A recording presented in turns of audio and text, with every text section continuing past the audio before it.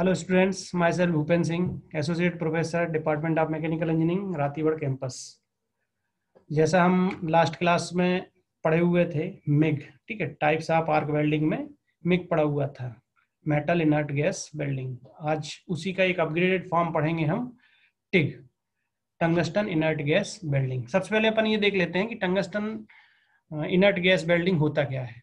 This process often called gas tungsten arc welding is similar to MIG, MIG in that it uses the gases for shielding. ठीक है TIG tungsten inert gas इसका जो दूसरा नाम है वो gas tungsten arc welding है ठीक है जैसे अपन मिग में गैस यूज़ करते थे सील्डिंग के लिए यहाँ पर भी सील्डिंग के लिए गैस ही यूज़ करते हैं ठीक है और बस थोड़ा सा कुछ कुछ अंतर है इसमें बाकी प्रोसेस प्रोसेस सब कुछ अपन को वैसे ही देखते हैं अपन जैसे कि टिग में होता है, ठीक है ना?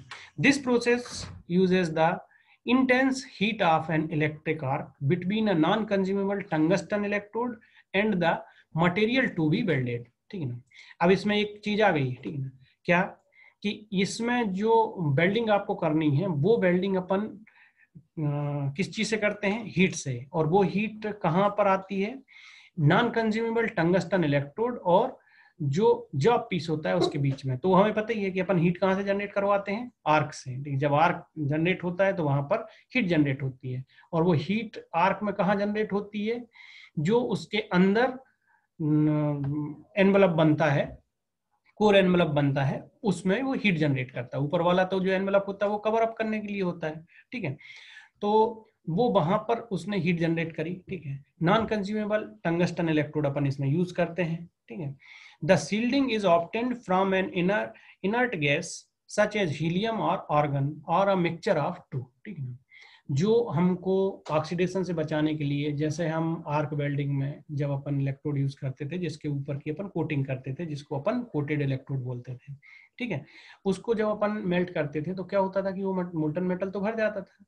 और उसको एटमॉस्फियर की एयर या ऑक्सीजन से बचाने के लिए अपन को क्या करना पड़ता था, उसको प्रोटेक्ट करना पड़ता था। तो प्रोटेक्शन वहाँ पर कैसा होता था कि जो फ्लक्स होता था, वो भी मेल्ट होकर के उस मोल्टन मेटल के ऊपर जम जाता था।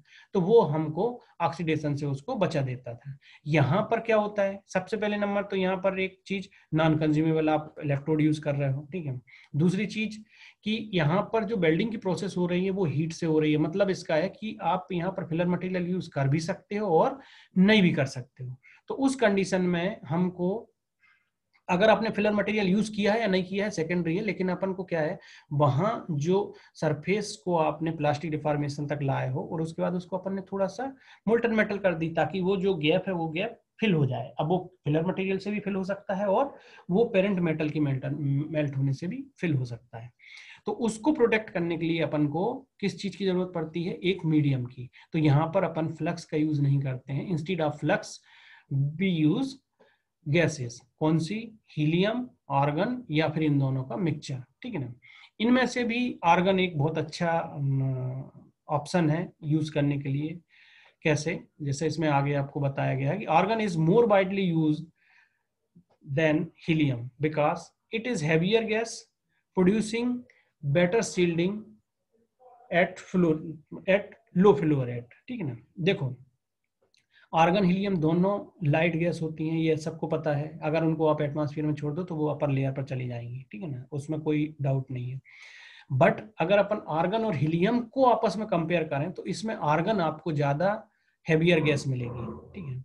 तो वो क्या है कि जो जितनी देर के लिए वहाँ पर गैस नीचे रहेगी उस सरफेस के आसपास में, उसका जो ऑक्सीडेशन है, वो उतना ज़्यादा प्रोटेक्ट हो जाएगा। तो इसकी फ्लोरेट लो फ्लोरेट का मतलब ये होता है कि देखो, जब थोड़ी सी हैवी है तो थोड़ा उस, कुछ टाइम वो ले लेगी, कुछ, एक आध सेकेंड ले लेगी, कुछ मिली सेकेंड ले लेगी, ठीक है? तो वो सरफेस पर रुकी रहेगी। लेकिन अगर वहीं पर अपन हीलियम का यूज़ करेंगे तो हीलियम उतनी देर तक नहीं रुकता है। ठीक है? और वो गैस अपर लेयर पर चली जाती है एटमॉस्फेयर के तो अपन को क्या है कि इसमें फिर एक्सपेंडिचर भी बढ़ जाएगा। अगर अपन हीलियम का यूज़ करते हैं तो एक्सपेंडिचर बढ़ जाएगा। तो उस कंडीशन में क्या है, अपन आर्गन का यूज़ करते हैं और उसमें अपन को जो उसकी फ्लो की रेट है, वो फ्लो की रेट भी अपन को, अपन कम कर लेते हैं। ये टंगस्टन वेल्डिंग का एक सिस्टमेटिक डायग्राम है। इस डायग्राम में देखो, और जो आपने पिछले लेक्चर में देखा था मिक का ये दोनों में ज़्यादा अंतर आपको नहीं आएगा समझ में, ठीक है? गन उसमें भी यूज़ हुई है, इसमें भी गन यूज़ हो रहा है। इसमें भी इलेक्ट्रिसिटी इलेक्ट्रोड के थ्रू ही जा रही है, उसमें भी इलेक्ट्रिसिटी इलेक्ट्रोड के थ्रू गई थी, इसमें भी गैस यूज़ हो रही है, उसमें भी गैस यूज़ हो रही है, सब कुछ सेम है। सिर्फ़ अंतर कहाँ पर आ जा रहा है यहाँ पर कि जो आपने इलेक्ट्रोड यूज़ किया है वो नॉन कंज्यूमेबल है। इसका मतलब ये है कि इसमें इलेक्ट्रोड फ्लो नहीं होता। उसमें अगर आपने देखा हो तो गन के ऊपर इलेक्ट्रोड दो रील के बीच में से निकलता था। ठीक है, रोलर चलते थे दो तो वो क्या है कंज्यूमेबल इलेक्ट्रोड था तो उसको अपन को कंटिन्यूसली फ्लो करवाना पड़ता था। तो वो कंटिन्यूसली फ्लो होता था तो उसके कारण उसमें वो फिलर मटेरियल का भी काम करता था। इलेक्ट्रिसिटी लाया इलेक्ट्रिसिटी आने पर आर्क जनरेट हुआ आर्क जनरेट हुआ तो हीट डेवलप हुई हीट डेवलप हुई तो जो पेरेंट मेटल है वो कहाँ तक आ गई? प्लास्टिक डिफॉर्मेशन तक आ गई, और उसके बाद में जो फिलर मटेरियल है, या जो इलेक्ट्रोड है, वो ऑटोमेटिकली मेल्ट होकर के फिर वो जो रिमेनिंग गैप बचता है, उसमें वो फिल हो जाता था। लेकिन इसमें ऐसा कुछ नहीं है। इसमें क्या होता है? गैस आई, गैस ने चारों तरफ़ पहले सराउंडिंग को कवर कर लिया, ठीक है? और उसने वहाँ पर उसको प्रोटेक्ट करवा दिया। किस चीज़ से? ऑक्सीडेशन होने से सरफेस को, जो कि प्लास्टिक डिफॉर्मेशन और मेल्टिंग पॉइंट तक आया है। अब इसमें फिलर मटेरियल अपन यूज़ कर सकते हैं और नहीं भी कर सकते, वो डिपेंड करता है प्रॉपर्टी ऑफ़ वर्क पीस के ऊपर कि आप कितनी करंट फ्लो कर रहे हो, किस हिसाब से वेल्डिंग हो रही है। अगर वो वेल्डिंग का ज्वाइंट कंटिन्यूसली होता जा रहा है तो फिर अपन उसमें जो फिलर मटीरियल है उसका यूज़ नहीं करते हैं। गैस का फ्लो कांस्टेंट होता है, जो गैस इसमें इन हो रही है, ये सिलेंडर से बाहर निकलती है और सिलेंडर के ऊपर प्रेशर गेज भी लगा रहता है रेगुलेटर वाल्व भी लगा रहता है। तो वहाँ से अपन प्रेशर देख लेते हैं कितने प्रेशर पर हम उसको रेगुलेटर के थ्रू फ्लो करवाते हैं तो वो अपन को यहाँ से फ्लो रेट पता चल जाती है कितने फ्लो रेट पर आई है गैस आ रही है। जैसा अपन ने प्रीवियस स्लाइड में देखा कि अगर आप यहाँ पर हीलियम का यूज़ करते हो तो आपको फ्लोरेट थोड़ी ज़्यादा रखनी पड़ेगी आर्गन का यूज़ करोगे तो फ्लोरेट थोड़ी सी कम रखनी पड़ेगी, ठीक है। यही मेन अंतर है एक टंगस्टन इनर्ट गैस में और मिग में कि यहाँ कंज्यूमेबल इलेक्ट्रोड यूज़ होता है मिग में और टिग में कंज्यूमेबल इलेक्ट्रोड यूज़ नहीं होता है नॉन कंज्यूमेबल यूज़ होता है, ठीक है? अब इसके कुछ इंपॉर्टेंट पॉइंट्स अपन देख लेते हैं टिक के, ठीक है? जैसे अपन ने मिग में कुछ इंपॉर्टेंट पॉइंट्स देखे थे, वैसे टिक के भी इंपॉर्टेंट पॉइंट्स हैं, ठीक है? The maximum current range for TIG torch is 250 ampere अच्छे से देख लेना, इसमें लिखा हुआ है क्या है? Maximum current range for TIG torch is 250 ampere. इसका मतलब है कि जो रेंज है वो 250 एम्पियर का है। ये इस, या इसका ये मतलब नहीं है कि आप हर वेल्डिंग 250 एम्पियर पर कर रहे हो ठीक है? मतलब वो टार्च जो सस्टेन कर सकती है वो 250 एम्पियर की जो हीट जनरेट होगी वहाँ तक वो सस्टेन कर सकती है। तो अपन इसकी मैक्सिमम रेंज जो देखते हैं वो 250 एम्पियर देखते हैं। Both source can use AC power supply भी अपन यूज़ कर सकते हैं और डीसी पावर भी सप्लाई यूज़ कर सकते हैं। सिर्फ़ अंतर इतना होता है कि एसी पावर सप्लाई अगर आप यूज़ कर रहे हो तो नॉन फेरस एलाय रहेंगे वहाँ पर, ठीक है? एक्सेप्ट डीऑक्सीडाइज्ड कॉपर कॉपर अगर डीऑक्साइडाइज्ड है तो उसका अपन को अपन वेल्डिंग नहीं कर पाएँगे, ठीक है? और जो फेरस एलाय होता है उसके लिए अपन डीसी पावर का यूज़ करते हैं। तो पहले, सबसे पहले क्या है? टिक के लिए आपको मटेरियल सेलेक्ट करो। मटेरियल सेलेक्ट करने के बाद में फिर आप सोर्स ऑफ़ पावर सेलेक्ट करो कि आप कौन सा सोर्स उसमें यूज़ कर रहे हैं। एसी यूज़ कर रहे हो या फिर डीसी पावर सोर्स यूज़ कर रहे हो, ठीक है? उसके हिसाब से अपन उसको सेट करेंगे। फिर करंट का फ्लो आप देख लेंगे, क्योंकि करंट जैसे अपन ने इलेक्ट्रिक आर्क वेल्डिंग जब अपन ने पढ़ा हुआ था, तब उसमें अपन ने बताया था कि जो पुरानी मशीन होती है, उनमें ऊपर एक रोटेटरी रेगुलेटर वाल्व लगा हुआ रहता है, जो करंट और वोल्टेज को कंट्रोल करता था, ठीक है? आजकल जो मशीन आने लगी हैं, उनमें नॉब आने लगी है। और उसमें लिखा हुआ रहता है fifty two fifty hundred one hundred and fifty ठीक है। One seventy five seventy five ten twenty तो जितनी करंट आपको चाहिए नॉब के हिसाब से अपन उसको फिक्स कर लेते हैं, कितनी अपन को करंट चाहिए, उतनी करंट को अपन इसमें फ्लो करवा देते हैं। जैसे अपने यहाँ जो टिग है, उसमें अपन ट्वेंटी एम्पियर तक की करंट मैक्सिमम रखते हैं, ठीक है। और उसके बाद में फिर उसमें गैस फ्लो करवा के जो अपन को वेल्डिंग करनी है, वो वेल्डिंग अपन करते जाते हैं। नेक्स्ट है for thin metal and intricate parts the current may be reduced up to three ampere मतलब ये है कि अपन इसमें अगर पतली प्लेट का यूज़ कर रहे हो आप वेल्डिंग करने के लिए, पतली प्लेट पर आपको वेल्डिंग करना है तो उस टाइम पर अपन इस करंट को रिड्यूस करके तीन एम्पियर तक भी ले आ सकते हैं। ठीक है? ये डिपेंड करता है सरफेस पर। जैसा क्या होता है कि आपने एक जॉब पीस कोई सभी दो जॉब पीस लिए जिनको आपको वेल्ड करना है। ठीक है? अब पता चला कि उनकी थिकनेस थे दो एम mm. आपने वहाँ पर करंट फ्लो कर दी बीस एम्पियर की, ठीक है? वो क्या होगा? जैसे ही आप वहाँ पर टार्च की टिप को रखोगे स्पार्किंग करवाने के लिए, वो इतनी हीट डेवलप कर देगा मिली सेकेंड के अंदर कि वो वहाँ पर होल कर देगा, पूरी मेटल को ही मेल्ट कर देगा। जबकि हमारा उद्देश्य क्या रहता है सबसे पहले कि जो पेरेंट मेटल होता है उसको अपन प्लास्टिक डिफॉर्मेशन तक लाएँ उसके बाद में अगर नॉर्मल मेटल है तो फिर अपन क्या है, उन्हीं को मेल्ट करके और वहाँ पर जो गैप है, उस गैप को अपन फिल करवा देते हैं, ठीक है, उसी से। और अगर नहीं हो रही है फिल तो फिर अपन क्या करते हैं उस चीज़ में कि फिलर मटेरियल अलग से लेते हैं और फिर उसका अपन यूज़ करते हैं तो वो उसको फिल कर देता है, ठीक है। इसके बाद में non consumable electrode as tungsten is used with melting point three three zero zero degree centigrade जो आप यहाँ पर टंगस्टन यूज़ कर रहे हो, वो टंगस्टन का जो मेल्टिंग पॉइंट होता है, वो three three zero zero degree centigrade होता है, ठीक है? नॉन कंज्यूमेबल है, ये तो अपन पहले देख चुके हैं, ठीक है? इसका मतलब है कि वो जो हीट जनरेट हो रही है, उसमें आसानी से वो सस्टेन कर सकता है, ठीक है? नेक्स्ट है the end of welding gun is made of high impact ceramic और इज़ वाटर कूल्ड ये सबसे ज़्यादा इंपॉर्टेंट पॉइंट है। ये दो तीन पॉइंट व्यू से पहले अपन ये देखते हैं कि देखो, सबसे पहले नंबर तो उसको आपको सिरेमिक का बनाना है। ये एक कंडीशन है। और अगर सिरेमिक का नहीं बनता है तो आप उसको वाटर कूल कर दीजिए। वहाँ पर टेम्परेचर कांस्टेंट होना चाहिए, ठीक है? जो इसका गन का टिप है। या अपन बोल सकते हैं वहाँ पर नोजल लगा हुआ रहता है एक्चुअली में एंड ऑफ़ गन पर, ठीक है ना? अब वो नोजल क्या काम करता है? और क्यों होना चाहिए? वो नोजल फ्लो करता है गैस का, जो आपने देखा था सील्ड करने के लिए जो गैस का यूज़ करते हैं, वो उसी नोजल के थ्रू निकलती है।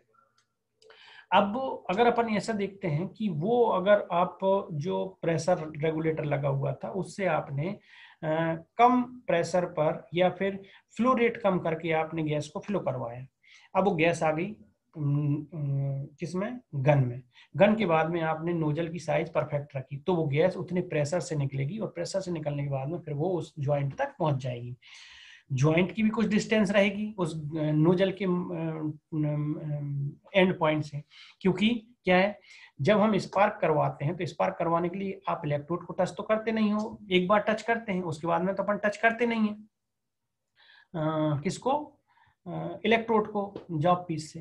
तो वो क्या होता है कि वो जैसे ही आपने उसको टच किया, स्पार्किंग हो गई। अब इसके बाद में कुछ गैप मेंटेन हो जाएगा, जैसा कि आप अपन ने पहले पढ़ा हुआ था कि कितना गैप मेंटेन होना चाहिए, ठीक है?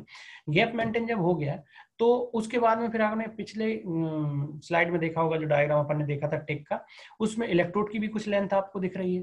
तो वो गैप और इलेक्ट्रोड की लेंथ इतनी डिस्टेंस पर रहेगा क्या? गैस का नोजल।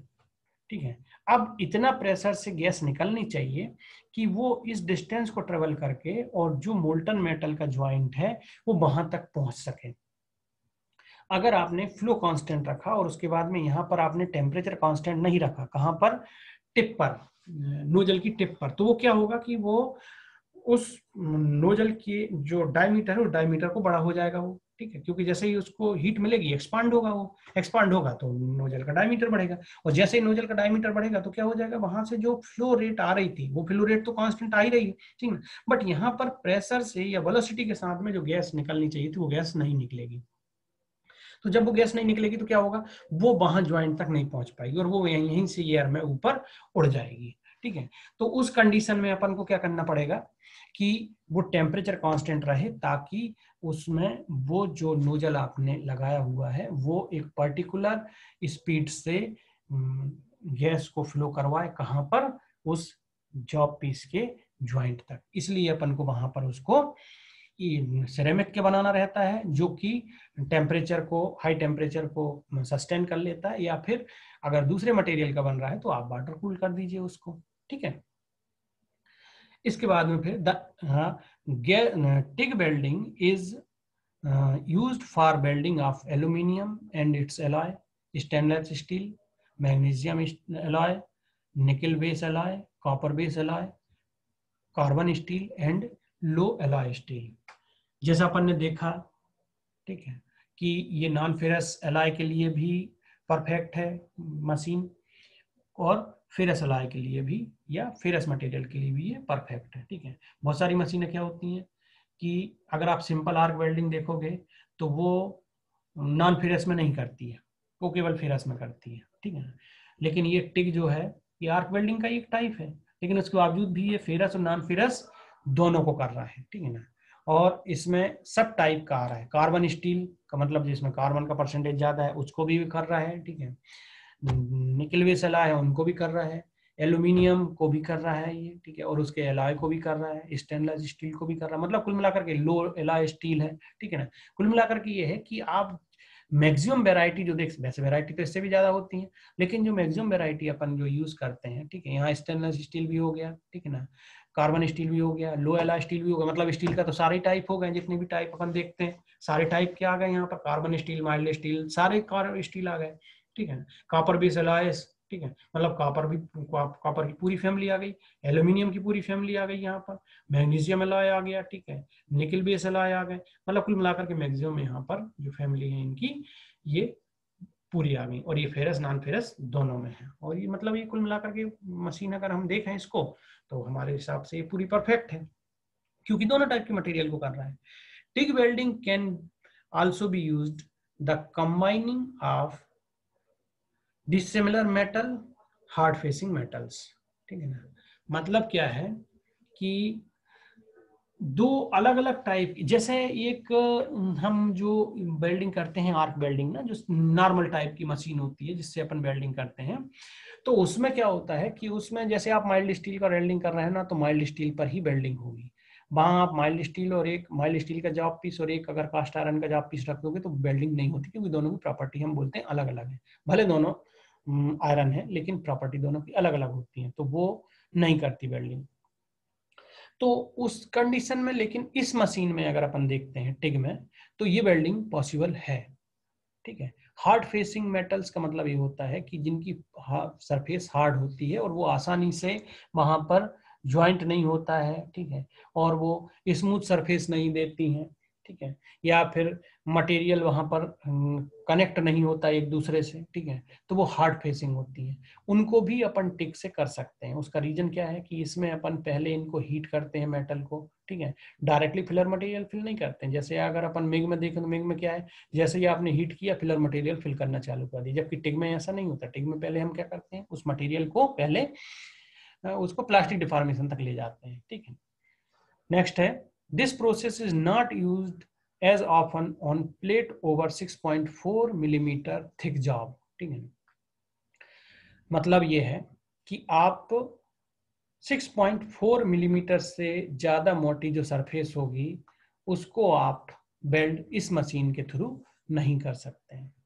अच्छे से ध्यान रखना 6.4 मिलीमीटर थिक जॉब ठीक है? हमको इससे कम की जो जॉब रहेगी उसको ही अपन कर पाएँगे वेल्डिंग ठीक है? मतलब जैसे आपने नॉर्मल तौर पे ले लिया कि पाँच एम एम दस एम एम ठीक है ना? पंद्रह एम एम बीस एम एम तो इन सब पर टिक काम नहीं करेगा। टिक किस पर काम कर देगा? जो पाँच एम एम का है, उसके ऊपर टिक काम कर देगा। तीन एम एम का है। अगर जितनी पतली प्लेट होगी, ठीक है ना? टिक उतना अच्छा होता है और उतना ज़्यादा अपन इसको यूज़ करते हैं। नेक्स्ट पॉइंट है for thin and small plates TIG is most common method as compare to MIG. ठीक है? अब इसमें जो मशीन, जो अपन टिक को देख रहे हैं, ठीक है ना? ये थिन और स्मॉल प्लेट के लिए ये यूज़ सूटेबल होती है। यूज़ तो खैर ठीक है, अपन इसको सूटेबल बोल सकते हैं कि टिक बहुत अच्छी मशीन है या suitable for thin and small plates है ठीक है? As compare to MIG MIG MIG के साथ में क्या है एक ड्रॉबैक क्या है कि देखिए जैसे ही आपने उसमें इलेक्ट्रिसिटी फ्लो करवाई ठीक है ना वहाँ ऊपर से रील चालू हो जाती है और वो आ, मेटल को भी मेल्ट करना चालू कर देता है और करंट तो फ्लो कर ही रहा है। तो उस टाइम पर अननेसेसरी वहाँ पर मेटल का डिपोजिशन भी हो जाता है और दूसरा जो अपन को जो सरफेस या उसकी जो फिनिशिंग चाहिए वो फिनिशिंग अपन को नहीं मिलती ठीक है? आ गया यहाँ तक समझ में आपको टिग अब तो लिख सकते हैं आप लोग। नेक्स्ट है इसका। एडवांटेजेस ऑफ़ टिग वेल्डिंग ठीक है ना? It produces high quality welding in non ferrous metal अब देखो, एक सिंपल सी चीज़ है।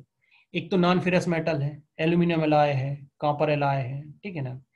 तो यहाँ पर जैसे ही नॉन फिरस मेटल आप देखते हो तो उनकी सरफेस वैसे ही स्मूथ होती है, ठीक है ना? प्लस टिग में आप जब इनको वेल्डिंग अपन करते हैं तो इसमें फिलर मटेरियल की नॉर्मल तौर पे ज़रूरत नहीं पड़ती है।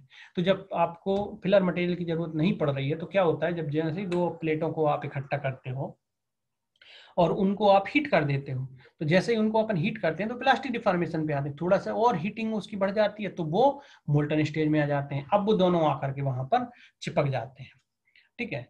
अब जब वो वहाँ पर चिपक गए दोनों तो अब इसके बाद में क्या होता है कि जैसे ही आप उनको देखोगे ठीक है कि ये यहाँ से हम्म, जो सरफेस अपन देखते हैं ठीक है कि बेल्डिंग हो रही है कि नहीं हो रही है ठीक है तो जब आप उसमें एक्सेस आप मोल्टन मेटल नहीं डाल रहे हो तो वो जो उसी की सरफेस की मेटल है वही सरफेस की मेटल उसका जो गैप है उसको प्योर कर रही है ठीक है तो वो वहाँ पर नॉर्मल तौर पे स्मूथ हो ही जाएगी उस चीज़ में। और अपन प्रैक्टिकली बेल्डिंग करके भी देखा है कि अगर अपन थोड़ी देर रुक जाते हैं मोटी सरफेस जिसमें रहती है जो अपन फाइव एम mm का जो आप पीस लेते हैं उसको अगर अपन बेल्ट करते हैं थोड़ी देर रुक जाते हैं तो वहाँ पर एक अलग से एक्स्ट्रा मटेरियल डिपोजिट हो जाता है मोल्टन मेटल वाला।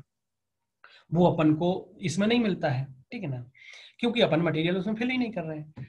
Practically no weld cleaning is necessary जब आप यहाँ पर एक्सेस मटेरियल या मोल्टन मेटल यूज़ नहीं करोगे, ठीक है? और मोल्टन मेटल यूज़ करोगे भी, वहाँ पर आप फ्लक्स का यूज़ नहीं करोगे, ठीक है? गैस का यूज़ करोगे उसको सील्ड करने के लिए। जब गैस सील्ड है वहाँ पर, ठीक है? तो जब आप इसको वेल्डिंग कंप्लीट हो जाएगा तो जैसे अपन नॉर्मल वेल्डिंग करते थे कि उसमें अपन उसके ऊपर फ्लक्स जमा है तो उसको अपन फिर से चिपिंग हैमर से अपन उसको रिमूव करते थे। वो उसकी ज़रूरत ही नहीं है अब यहाँ पर। जब मेटल ही डिपोजिट नहीं हो रहा है या उसका जो सरफेस है वो डिपोजिट नहीं हो रहा है तो फिर उसको क्लीन करने की ज़रूरत ही नहीं है अपन को, ठीक है? ये सिंपल सी चीज़ है। तो इसलिए वहाँ पर अपन ये देखते हैं कि अपन को क्लीनिंग की ज़रूरत पड़ती ही नहीं है, ठीक है? The arc and weld pool are clearly visible to the welder ठीक है? जब आप फिलर मटेरियल यूज़ नहीं कर रहे हो या इलेक्ट्रोड मेल्ट नहीं हो रहा है। सबसे इंपॉर्टेंट ये फिलर मटेरियल यूज़ हो रहा नहीं हो रहा सेकेंडरी है, ठीक है? इलेक्ट्रोड मेल्ट नहीं हो रहा है तो जैसे ही आप उसको ग्लास से देखोगे, ठीक है? इसका मतलब ये नहीं क्लियर विजिबल की बेल्डर वहाँ पर ना ग्लास लगाता है और ना गॉगल लगाएगा और बस वो सीधा बिल्डिंग करेगा कि अब तो मैं, इसको तो क्लियर विजिबल होता है ये ठीक है? तो वहाँ अपन को देखना प्रोटेक्शन तो अपन को लेना ही पड़ता है। अब वो उसके बाद में फिर वहाँ पर बेल्ड होता है। बेल्ड होने के बाद में जैसे ही अपन उसको देखते हैं ना, उस ग्लास में से तो वो अपन को क्लियरली बेल्डिंग की लाइन समझ में आती है कि बेल्डिंग कहाँ पर हो रही क्योंकि इसमें आर्क बहुत बड़ा नहीं होता है, ठीक है? क्योंकि एक तो इलेक्ट्रोड का ही डायमीटर बहुत कम होता है। तो वो वहाँ पर इलेक्ट जो आर्क बनता है, वो आर्क छोटा सा बनता है, ठीक है? और वही हीट जनरेट कर देता है वो। तो वो आसानी से अपन उसको ग्लास में से देख सकते हैं। फिलर मटेरियल में और मे नॉट भी यूज़ जैसा मैंने आपको बताया था कि फिलर मटेरियल कहीं पर यूज़ होता है। और कहीं पर नहीं होता है। ये डिपेंड करता है मटेरियल की स्ट्रेंथ के ऊपर भी कि आपने जब उसको हीट किया है तो वो हीट करने पर वो कितना परसेंटेज उसका मेटल प्लास्टिक रिफॉर्मेशन तक गया है और फिर कितना मोल्टन मेटल जा रहा है। अगर उसके बीच में गैप है तो वो गैप इस मोल्टन मेटल से फिल हो रहा है कि नहीं हो रहा है, ठीक है?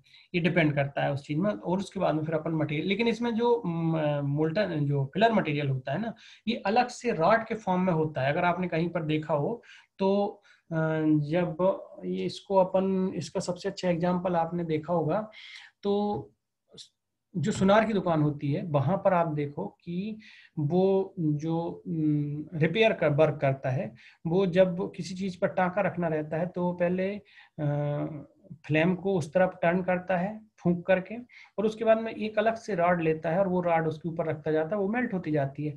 वो कहलाता है फिलर मटेरियल वो सेम फिलर मटेरियल यहाँ पर भी अपन यूज़ करते हैं। बस अंतर इतना होता है कि यहाँ पर टंगस्टन से अपन आर्क से हीटिंग कर रहे हैं और उसके बाद एक अलग से राड होती है। हाँ ये राड मशीन के थ्रू भी अपन इसको फिल करवा सकते हैं, ठीक है? या उसका जो फिलिंग स्पीड है या रेट है, वो अपन मशीन के थ्रू भी कंट्रोल कर सकते हैं या मैनुअली भी इसको ऑपरेट कर सकते हैं। हाथ से भी अपन इसका यूज़ कर सकते हैं। Fine work produces with low flow rate of gas तो जो गैस है, जैसे अपन ने पहले देखा था कि हीलियम और आर्गन दो या इन दोनों का मिक्सचर यहाँ पर यूज़ होता है और फाइन वर्क प्रोड्यूस करती है ये low flow rate of gas में। तो यहाँ पर गैस का जो परसेंटेज है वो भी कम लगता है। ठीक है, वैसे ये नॉर्मल तौर पे उसके लिए है जिसमें कि अपन इलेक्ट्रोड यूज़ नहीं करते हैं या फिलर मटेरियल यूज़ नहीं इलेक्ट्रोड तो यूज़ करते हैं फिलर मटेरियल जहाँ पर यूज़ नहीं करते हैं, वहाँ के लिए ये रहता है कि फ्लो रेट अपन कम कर सकते हैं। वो इसलिए कि एक अपन ने देखा वहाँ पर कि अपन हीलियम की जगह किसको यूज़ कर रहे हो? आर्गन को, ठीक है? तो जब अपन आर्गन को यूज़ कर रहे हैं तो वो है भी है तो वैसे भी उसकी फ्लो रेट अपन ने कम कर दी है और उसके हिसाब से फिर अपन उसको आगे बढ़ाते जाते हैं, ठीक है? अब ये तो हो गया, अब इसके बाद में अपन को करना है रेजिस्टेंस वेल्डिंग वो अपन नेक्स्ट क्लास में देखते हैं रेजिस्टेंस वेल्डिंग और उसकी कुछ टाइप्स हैं वो, और फिर कुछ अलग से और दूसरे टाइप्स हैं आर्क वेल्डिंग के वो करना है, और फिर इसके जो डिफेक्ट्स हैं वो अपन नेक्स्ट क्लास में पढ़ते हैं। ठीक है? चलिए ओके थैंक यू